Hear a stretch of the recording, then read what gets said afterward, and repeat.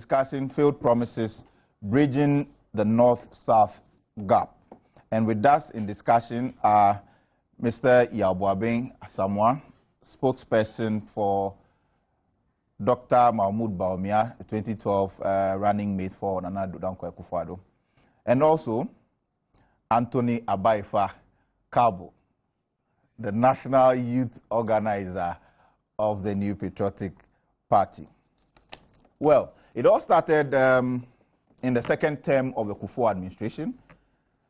The government then passed the, the Northern Development uh, Act and then paid 25 million Ghana cedis into a fund that was supposed to, to be used in bridging the gap between the North and the South, in making sure that the North was developed into um, a food basket for not only the Ghanaian market, but for the West African sub-region.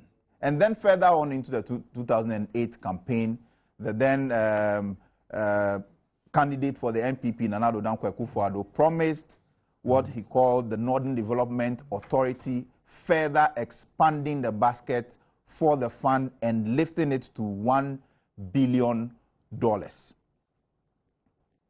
After the announcement, then vice presidential candidate Mr. John Dramani Mahama made a public statement that if the NPP could raise a billion dollars to support the Northern Development Authority, we should first of all pay uh, the debts that were incurred by the VRA.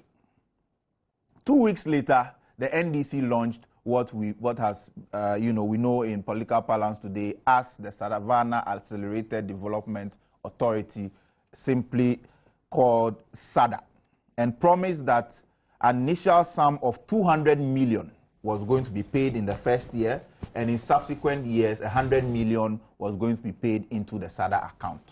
Three years or four years down the line, monies that have been um, paid into the SADA account still do not add up to 100 million Ghana cedis.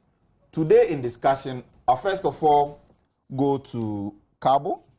Um, the party has held uh, certain fora in the north. Uh, Nana Addo Dankwa spoke extensively on his, his plans for the north at the youth forum in Tamale a couple of weeks ago.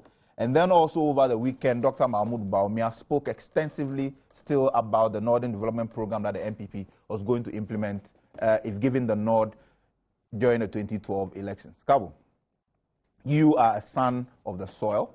You are from the north and uh, happen to be the national youth organizer of the NPP at the same time. This is about your backyard.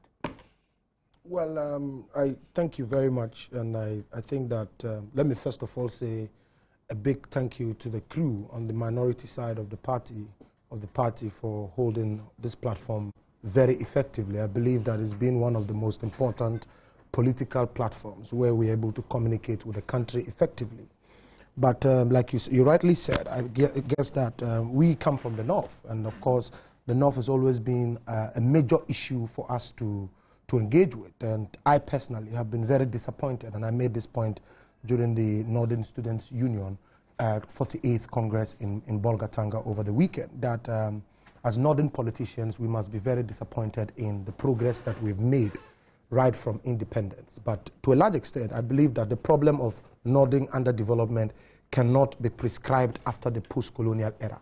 It is in fact right down through the colonial times, you've had you know, the mentality of having the North to be the hub of labor reserved, especially when many years after the export-based economy was well established in the South, where you know export of gold and cocoa and many industries having expanded. If you if you go back to the historical antecedents, you would it, it, interesting to note that many years after the South had even established educational facilities, the North was still reeling.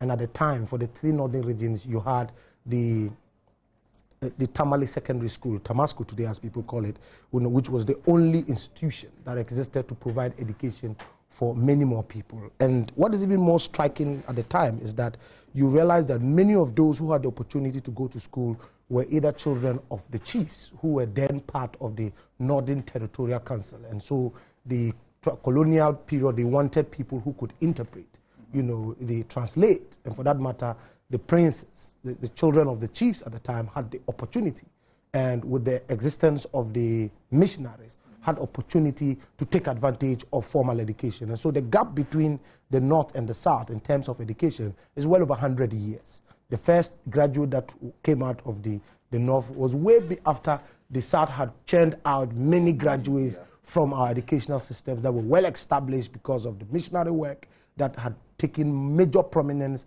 in the South and the exploits of the colonial masters at the time. And so, Perry, we, we have a, a chronic problem of nodding underdevelopment. And, and, and therefore, you will recall that even in the Nkrumah time, before independence, when the whole country or the whole Gold Coast at the time was urging for independence, there were people in the north really didn't catch the feel of independence at the time. I do recall that, you know, a lot of the chiefs came together and when they had to append their signature to the Declaration of Independence because at the time, the colonial masters or the, the Queen insisted that independence would not be handed over to the, the Gold Coast until it was with the consent of the chiefs. And so in Nkrumah, J.B. Danquah, and the rest all who were working, you know, to get, were, were working very closely with the chiefs. The chiefs of the North made a very important point at the time. And I do remember, per the history that we've, we've, we've studied, indicates that the then Ya Na of the Dagbon Kingdom made a very important point, that it was important that the, the, the colonial masters brought the North up to speed in terms of development, education, uh, infrastructure before we could be talking about independence. He likened the situation to three pregnant women one who was pregnant for nine months, the other for six months, and the other for three months, and said that look, the North is like the three month old, three, three old pregnant woman. If you say she should give birth today, they're not going to give birth to a human being. But the South was almost like the nine months, and so they would give birth to you. It was because adequate preparations were made for the South at the time to demand independence. So the feeling for independence didn't really catch up with the North like that. And so the Nkrumah administration, in fact, put together with the, with the consent of the colonial masters that 10 million pounds at the time was supposed to be invested in the North for northern development. So it has not been today we are talking about northern development and the commitment of the people. The question that we've been asking ourselves, and many people are very quick to make this analysis about this Nkrumah's free education, making it look like it was then meant for that. The North itself was supposed to be a protectorate for the colonial masters and a reserve for labor to feed the export industry that was well established in the South. And so you observe that many of the people who were working in the colonial uh, authorities in the South as uh, clerks, as messengers, as watchmen, were all from of northern descent. They didn't get any good education. And so it was important to take education up as a serious matter in the North. And so all these investments were being done. You see, it is important that northern historians and northern politicians must begin to demand an audit of how that 10 million pounds was used. Even today, mm -hmm. how much is 10 million pounds if you throw that in, a lot, in, in a lot of money at a time? And so those are the kinds of gaps that we are having. So we could blame the gap also on the colonial administration and also on our own politicians because they failed to make a giant step. The issue about northern development, I grew up in Tamale, born in Tamale, and realized that there was a gradual collapse of the traditional northern economy, which was largely agrarian.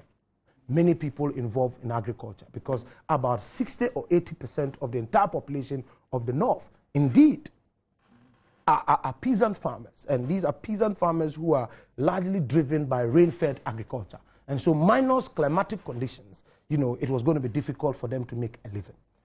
And so, the NPP, and, many, and, and I even want to fast forward, let's go a bit forward and think about other economies. One of the biggest things that has been a cause for a lot of strife and conflict in many West African states and Africa as a whole has been the disparity in development, especially between the growth poles. If you have the growth pole in the south, the yawning gap the between the north. And that continues to present as a major danger, a challenge for this country if we want any economic stability. You cannot continue to concentrate investments in the south and expect them north to catch up in a way when you pay lip service. And so, interestingly, at the Northern Territorial Council, I'm telling you today for your listeners to know, the first person to submit to the Northern Territorial Council a proposed budget which was supposed to take care of northern development was Alhaji Mumuni.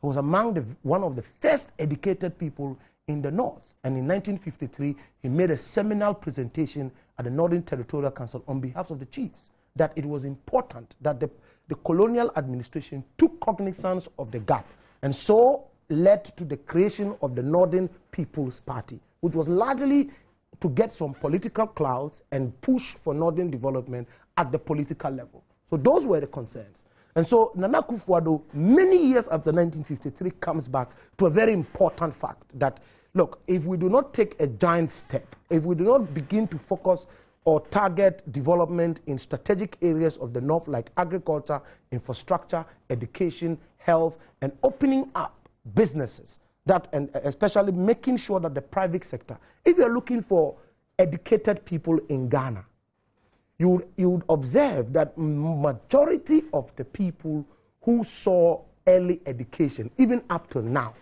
in our country.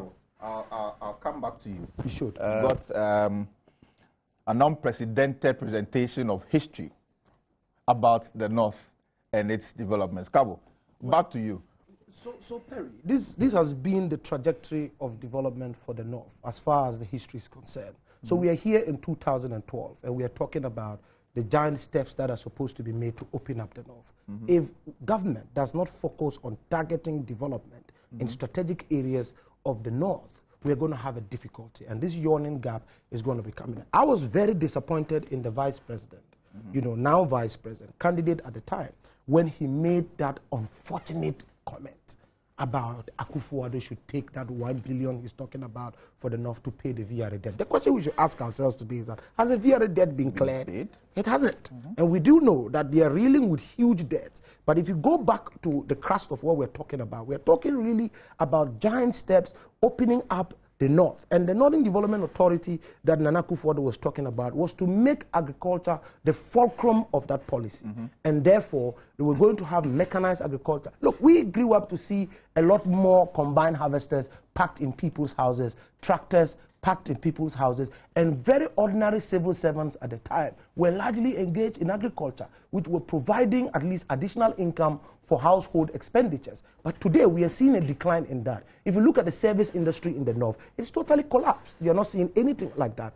And what is even more scary, and I think that we've all been caught in the same trap, Perry, we are educated in the north, and now we are having to move to the south, where even the opportunities are, are gradually you know, being limited yeah. in your own words. Mm -hmm. And so we are in we are in a conundrum. We're here, a pool of labor from the north mm -hmm. that is supposed to go back and impact positively on the people. Mm -hmm. We are all stuck up in the south because of opportunities. Mm-hmm. If government does not reverse that trend and get all of us here who are in the south, who are competing with opportunities for in, in the south with like being who have a birthright to be here and must school educated here and get jobs here and have a livelihood here, we're all going to be stuck up here and we'll keep the north. And what is even more scary is the unprecedented movement, rural urban migration mm -hmm. from young people in the north. Look at, go to Malata Market, go mm -hmm. to Nima, go to Ashaiman, go to Agbogbloshie, go to all clusters around the country. Mm -hmm. You would observe that about 70% of the inhabitants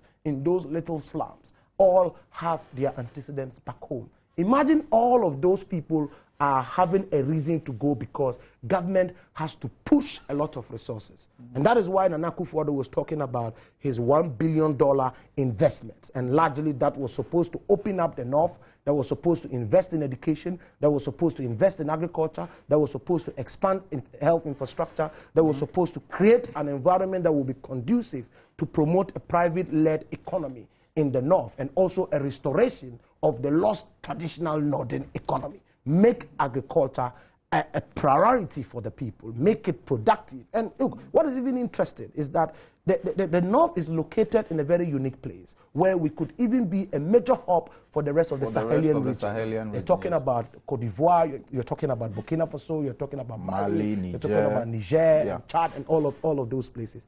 And it is so interesting how you find out that there are no economic uh, crops that can be promoted for export. And it's important that these kinds of investments will open up the space. And so if you situate all of that analysis in the context of what Nana is talking about, the free education, the biggest beneficiary of the free education policy are the people of the North.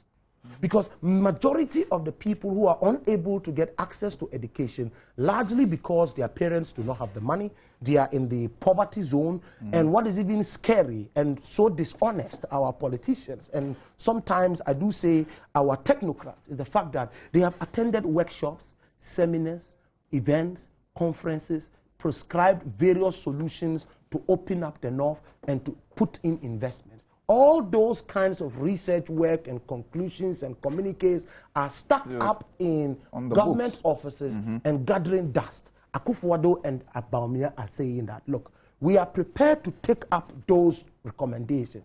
We are prepared to take up the work of all these our intellectuals and technocrats mm -hmm. and begin to put that into some action. And, and it is work. important that that will be the fulcrum of creating a lot more jobs for young people. Mm -hmm. I would wish mm -hmm. that I grew up in, or my children will grow up in Lawra, school in Lawra, get university education in University for Development Studies, find decent jobs. I made a very important point, and I'll end by that.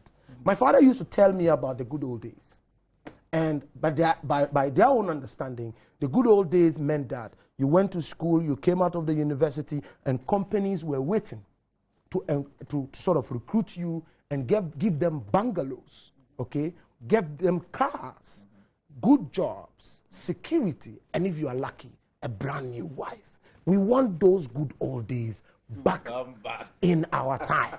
and that is why the youth wing of the NPP uh -huh. is calling for a radical policy shift. And we are going to push the NPP and the leadership of the NPP, and especially Nana Addo and his team, to make sure that that giant step that we are talking about must happen in our lifetime. We are only demanding economic empowerment opportunities for the North you, in our lifetime. I'll come back to you. Yeah. First of all, I think, Karbo, the North should be proud of you. That at your level, youthful, but thoroughly and solidly committed to the cause of the North. And indeed, that brilliant exposition you've just given, against the background of what is at stake today, I am confident, and I sit here and say that, that the NDC, all things being equal, don't deserve one single vote from the North. Absolutely. Because SADA is a spectacular failure. SADA is a spectacular failure. Why do I say that? This is a program mm -hmm. for the development of the savannah areas, focused to take on the best deepen it and empower the people. Agri-focused development, creating access to infrastructure and empowering the people with education to take advantages and create the market as a hub, breadbasket for southern Ghana as well as beyond. And the rest of the region. Nana Akufo-Addo, the benefit of this background, establishes a fund, one billion. That I am going to put down one billion to kickstart this process. And the government of Ghana passes the Northern Development Authority law, and 25 million cedis is allocated. Then, for purely populist propaganda reasons, and the North must listen and appreciate what happened, purely populist propaganda reasons, the then NDC campaign comes up and says, no, we own the North. We believe you are people, and we are telling you that these people are jokers. And if they have that kind of money, they should go and pay VRA debt, implying that we didn't have the money and we had lied. What does it turns out to be? They steal the idea, and in the normal context of things, when an idea doesn't belong to you, when a vision is not yours, when a dream is not yours, invariably you drive it into an abyss. You drive it into a ditch, typical of the NDC. They simply picked up this idea after ridiculing it. Two weeks later, they set up SADA. No vision, no commitment, no clarity, no clarity mm -hmm. nothing, just pure propaganda. So what happens? They go out there to the north, they sell this to the people that we are going to do this for you. And what was the distinction? When we said, oh, but this is the Northern Development Authority, they said, no, that's why you're limiting it to the three northern regions. We have brought it into the savannah zone. into, into the the Brong Ahafo and then the Ashanti region. Yes, so childish. And Yes, then some parts of the water region. you know, pure populist propaganda. But you see, the trick is that, just like Karbo said, in this era, everybody is looking for development that is oriented towards their welfare. People want change of attitudes. The intelligentsia from the north want access, access in terms of infrastructure and opportunities, economic opportunities and social opportunities. So it is not enough any longer to simply lie to people about what you do for them. It is not enough any longer to go to the people and say, Yes, I'm going to implement SADA. And then when you come into power, it takes you two years just to pass the SADA law. It takes you almost four years to put in a little over 30 million cedis. Most of that money coming out of HIPC funds. Many people don't know that the Social Investment Fund, which was budgeted for SADA, is actually HIPC renamed. So, where was the government's commitment? Within that period, the government has prioritized and found it fit to pay 640 million cedis in judgment debts. Where is the priority? That is the question. Where is the priority? Anybody in the North, and I'm proud that I've been associated with the North. I schooled there, I've traveled there extensively politically, I've met many, many people there, and I think they deserve the truth. The minimum they deserve is the truth. The gap is real. And interestingly, Iya also has some some background of living, having having lived in the north as a child. Yes. High school there, I went to Is preparatory it school in sheer Bolgatanga. coincidence mm. that we're, we're, we're having such a discussion today.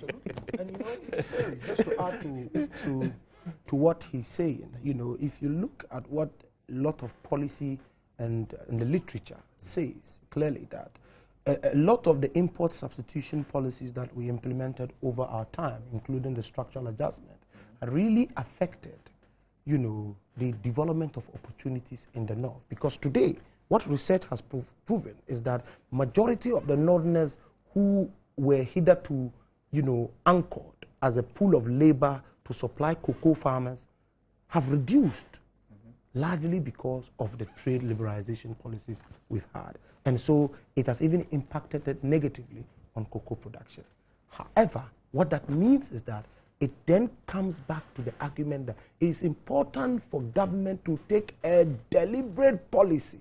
And it comes down to prioritization.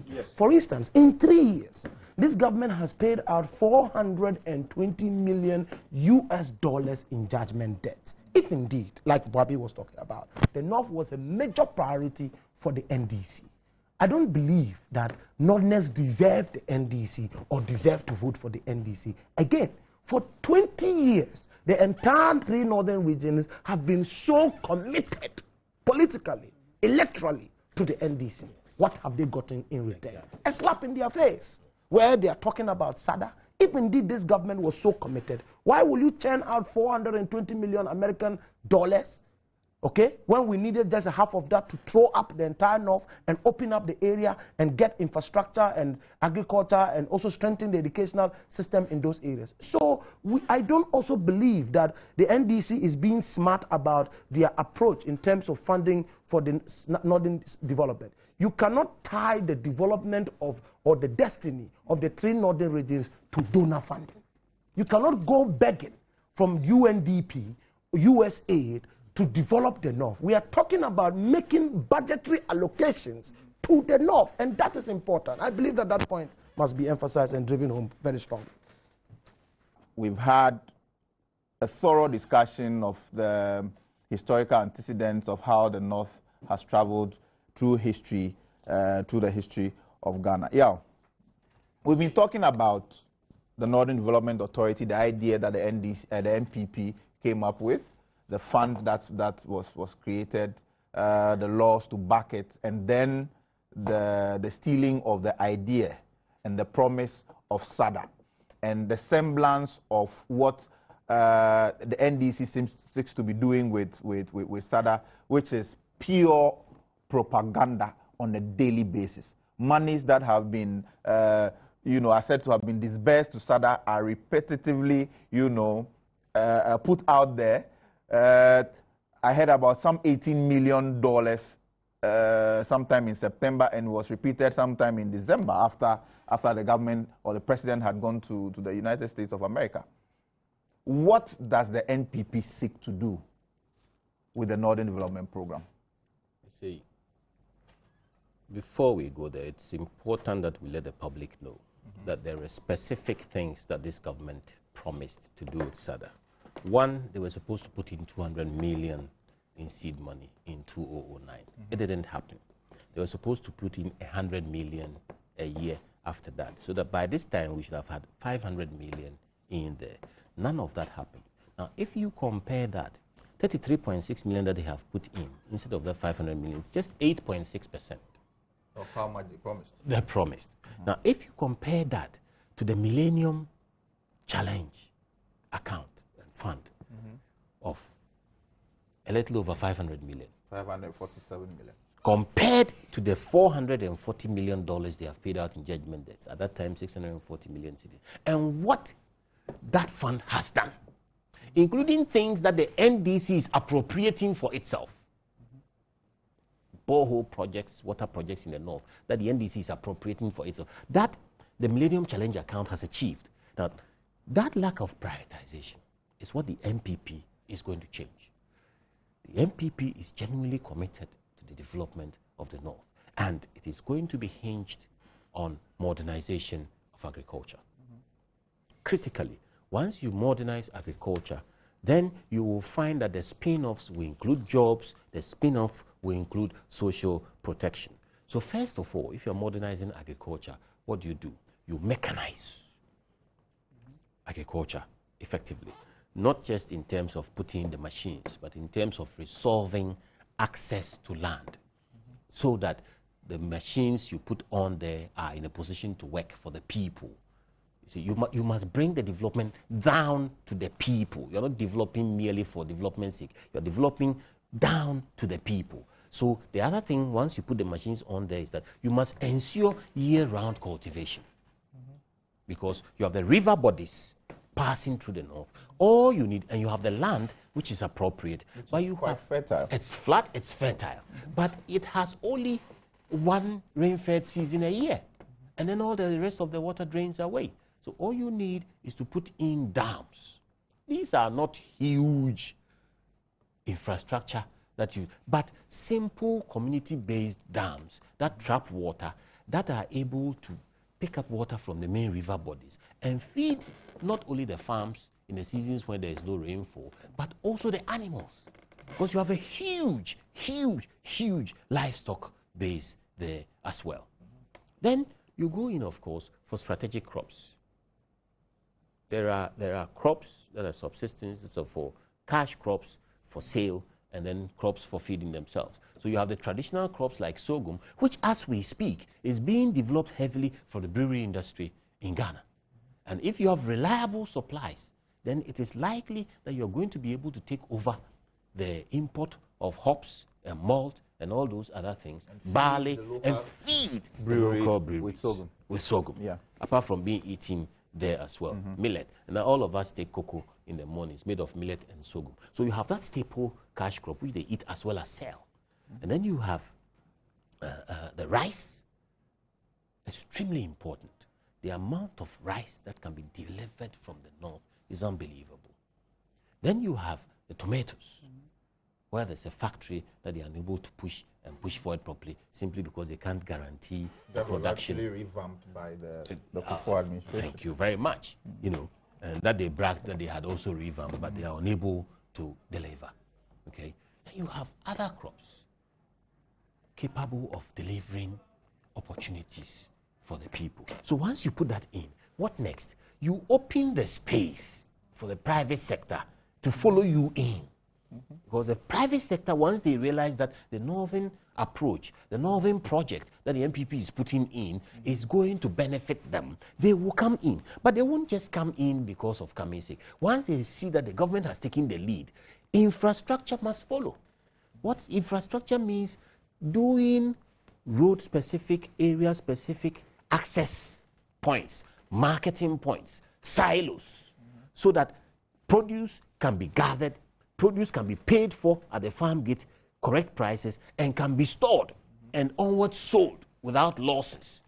And because the roads are there, and because the private sector, once you put the road there to the farm gate, will put a truck on it and will let money follow and go and buy the crops and evacuate them to market centers. So you have your storage component and you have your marketing component. Now, when you have that sorted out, you will find that your produce is gathered effectively. Then the NPP is saying that the ultimate step then follows industrialization, mm-hmm. processing the material. Processing the material. Mm-hmm. So, if you have the produce being effectively organized at grassroots level, families, irrespective of the size of their plots, are able to farm and they are able to get the inputs, they are able to get the market opportunities because you have created the roads to the farm gates and you have entrepreneurs who are buying and then you have the silos and these silos are also storing. Then naturally you, you find attract, that there's a huge, exactly into, into exactly well, because you have stability you have stability in the output. Mm-hmm. Imagine what will happen with school feeding if all these products were coming out and throughout the country we're feeding 4.5 million children every day Every day, we are feeding 4.5 million children. The groundnut production out there, the uh, uh, shea nut production out there, the, it's being turned into oils to feed these children. The rice is being uh, uh, sold straight into the schools. The vegetables are being canned and sold into the. That's on a daily basis. You are having to sell to a quarter of the people in Ghana. You well, yeah, I'll come. I'll, I'll come back to you, Karbo there seems to be a certain fixation on building an actual headquarters for SADA before the NDC government, you know, takes off to do anything about, about the promise that they made to the people of the North? Well, you know, I mean, I keep saying, and I'm going to repeat it on this platform, I think that, you know, you see, the, the, the NDC has lost it. They've lost the concept, they've lost the moral high ground, and they've lost the whole idea or the agenda to transform the North. I mean, why should the debate be about headquarters?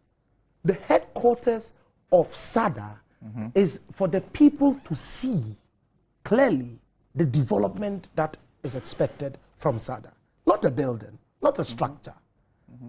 If I see the road from Navrongo, mm-hmm. okay, right up to Tumu, Tuwa, Tad, mm-hmm. infrastructure, that should be the headquarters of, of SADA. SADA if I should see that the tomato industry in Tono and Vea is being transformed mm-hmm. and the meat factory in Bolga is being transformed, okay? And I do see also that the guinea fowl industry, which they are mm-hmm. talking about in terms of agriculture and livestock production, is increasing. If I see also that government is taking specific intervention to make sure that fertilizer is available, like Abu talked about, mechanization of agriculture, mm -hmm. if I see the return of the combined harvester time, if I see the restoration of the traditional northern economy, which is largely agrarian, which we are seeing capital or private sector initiatives where advancements of credit uh, to smallholder farmers is in place, mm -hmm. then I can then be talking about the headquarters of, of SADA. Karbo. Well, um, I, I, would like to say just before you take your calls that you know 20 years of rapid economic development in Ghana, in fact, has done very little, if anything at all, to reduce the historical gap between the north and the south in terms of the standard of living.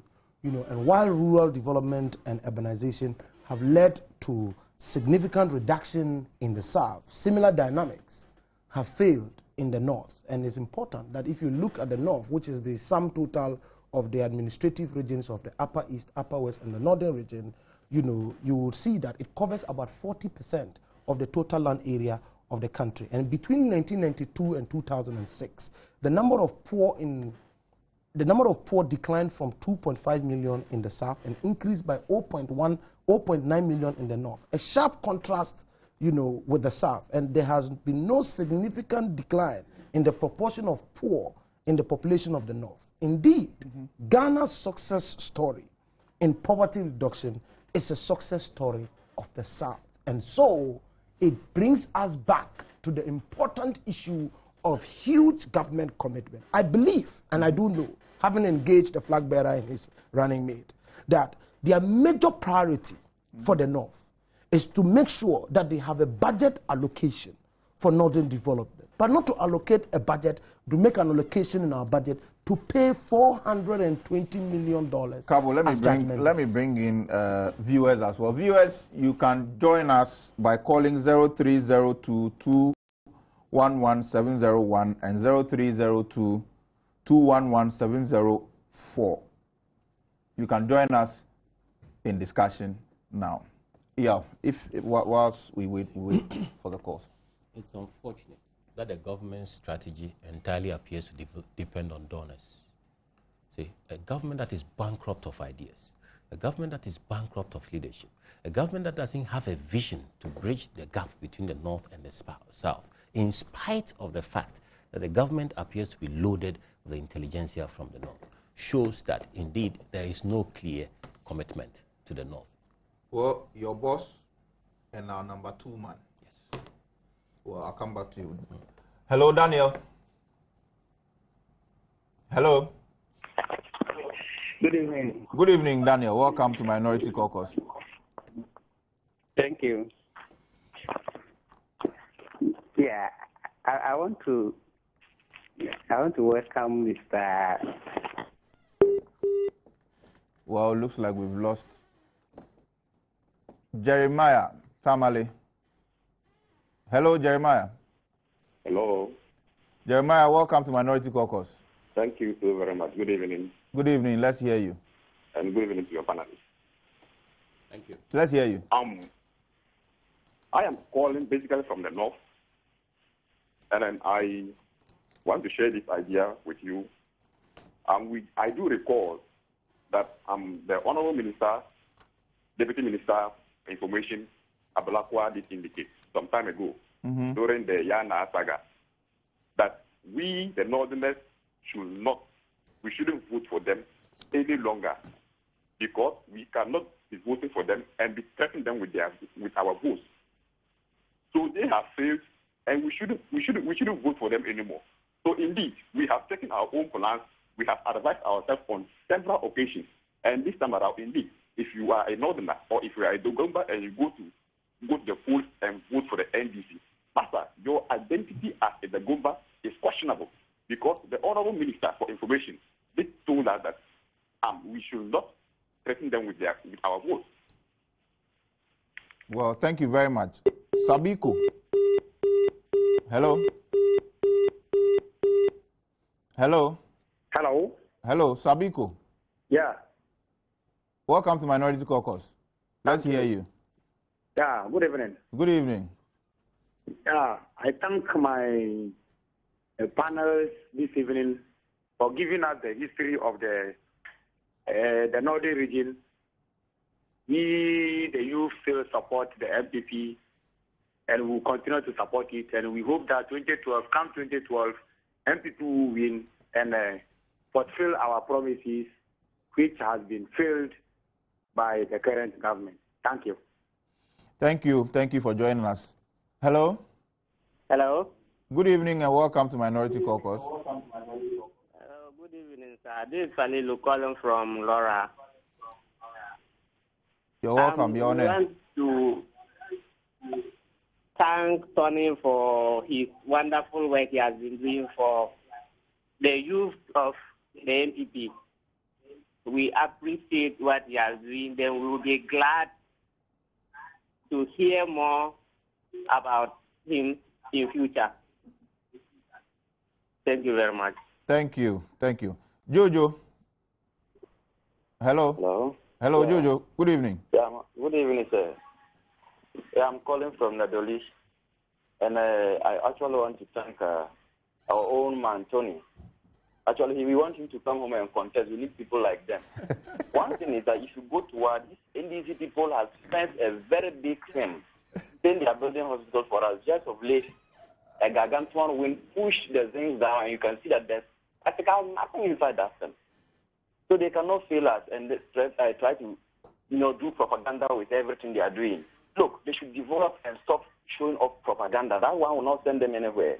We are supporting everybody. I mean, the NPP. Tony, we need you home. Come home and contest and save your people. Well, Bye. Thank you very much. And that's a challenge to, to Tony Karbo. He's going to be president. Don't worry. Well, yeah. yes. Your boss has uh, is an illustrious son of the North, uh, a technocrat, somebody with with uh, an enviable track record, and he's leading the charge in making sure that the NPP sells this idea of the Northern Development Program for 2012. What are the what are the views that he's he's, he's been expressing? You see, first of all, you have to look at it in the context of his own emotions when he was nominated. First thing he said was that there was And a we have to be snappy because Yes, there was a divide between the North and the South. Now, his commitment to the platform was that it wasn't for his own sake, but it was for the people of Ghana and especially to serve the people of the North in helping NDPP to bridge that gap. He promises to help Nana to develop the entire country of Ghana holistically, but with special emphasis on the deprived areas in terms of because when we bridge the gap, it will be beneficial not only for the north but for the, south as well and beyond. and beyond. So for me, the concluding thing is that as far as I'm concerned, the NDC has sacrificed the interests of the people of the north for political gain, personal political gain. They used them to secure votes so that they could come and pay themselves judgment debts. This time around, the people of the north should sacrifice the NDC take their destiny into their own hands and vote for progress, vote for development, vote for their son to lead the charge, as you said, to bridge that gap between the north and south. So that wherever you are in this country, you can proudly hit your chest and say, I am Ghanaian and I'm benefiting from democracy. and that will be a vote certainly for the NPP. Tony, Well, um, I mean, look, I will just end by recapturing the story told to me by my dad about the good old days. I believe that the youth of the NPP, the youth of this country, are demanding economic prosperity mm-hmm. in our lifetime, mm-hmm. and we demand it now. We are looking for a leader who is committed to our cause, a leader who is committed to making sure that graduates who leave our polytechnic, our universities, our training colleges will walk out of these institutions with jobs waiting for them. That is what we are demanding. And we are going to, very soon, on this same program, on many other outlets, we are going to engage in what I call the call for a radical policy shift. And we are going to engage in a robust debate on policy on the way forward for this country because we have to make a critical decision in 2012 for the future of this country. You don't realize if that happens, mm-hmm. Barry, and you have something like national service, and you are posted to Lawra, you'll be glad and proud to go up there. than happy. Yes. You'll be more than happy to go because you have the transportation. It's simple. You have the communications. You can you watch TV there the same way as you watch it here. You will have the infrastructure, electricity. You will have the hospitals. You will have the schools. You can further your education. You have the postgraduate institutions. You will have everything, and you eat the same food that you eat in Hohoe or Nkoko. You wouldn't have or to complain. Well, but you Well, a quick thank one, you. a We quick have to one. go. Just a quick one. We I just to want go. to say thank you to the people of the North, the young people in the North who are committed to this party and are prepared to make a giant step to change the future of the North. Thank you.